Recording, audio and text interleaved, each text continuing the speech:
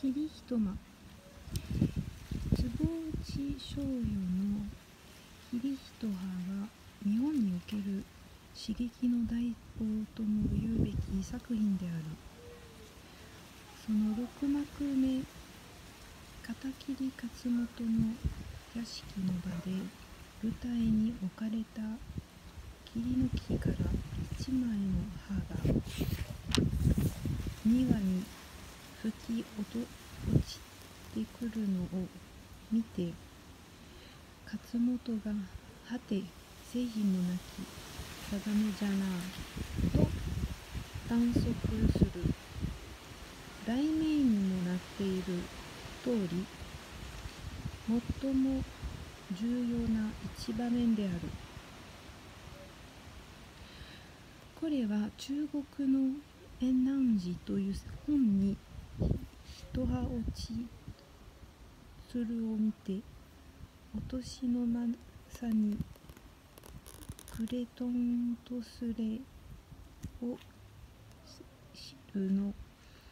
語があることから出て中国ではよく用いられた表現である。一枚の葉がハラハラと落ちたことによって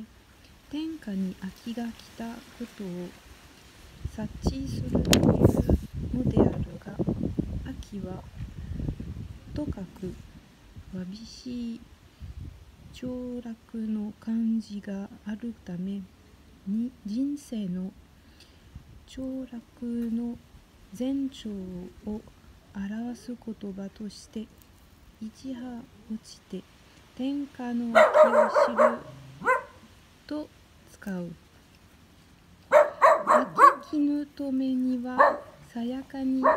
見え見えねども風の音にぞう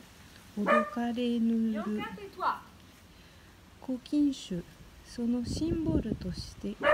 霧一葉があるわけだ。霧は落ち葉の最も早い木というわけでもないが